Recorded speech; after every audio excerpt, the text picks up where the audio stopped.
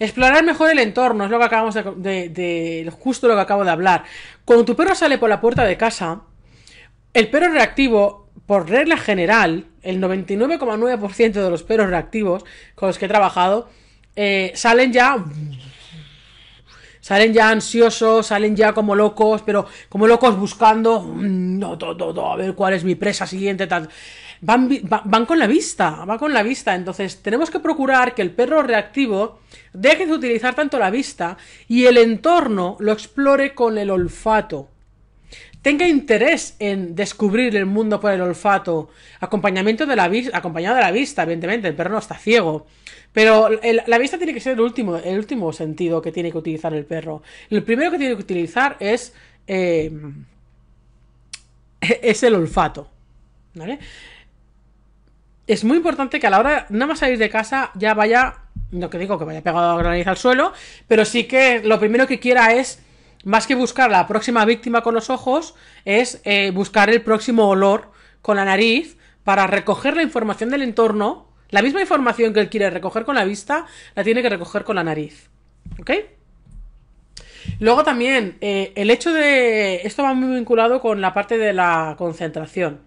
Cuando un perro está concentrado oliendo, eh, está recibiendo tanta información es como si estu es como, cuando nosotros estamos leyendo un libro. Tú tienes que concentrarte para leer un libro, entonces es- estás haciendo un trabajo cognitivo eh, muy grande porque tienes que procesar toda la información, tienes que interpretarla y tienes que guardarla en los diferentes archivos del cerebro. ¿Vale? Nuestro cerebro es como un ordenador con diferentes carpetas, diferentes archivos y cada cosa que nosotros vemos y que nos encontramos y que leemos y que vemos y que todo, la información que nos encontramos en el mundo, la vamos almacenando en las diferentes carpetas que luego serán nuestros recuerdos, ¿vale? Y algunos, algunos las vamos a desechar, pero otras las vamos a guardar. El perro exactamente lo mismo, solo que, como te vengo diciendo, para él es mucho más importante, o debería ser mucho más importante, el olfato que la vista. ¿Ok? Pero este, esta información que recibe con la nariz eh, es, igual que estuviéramos que se estuviera leyendo un libro. Recibe mucha información. Piensa que cuando huele un pipi, todos los pipis que te encuentras por la, que se encuentran por la calle o las cacas, sobre todo los pipis, eh, contienen mensajes, contienen mucha información. Son como WhatsApps.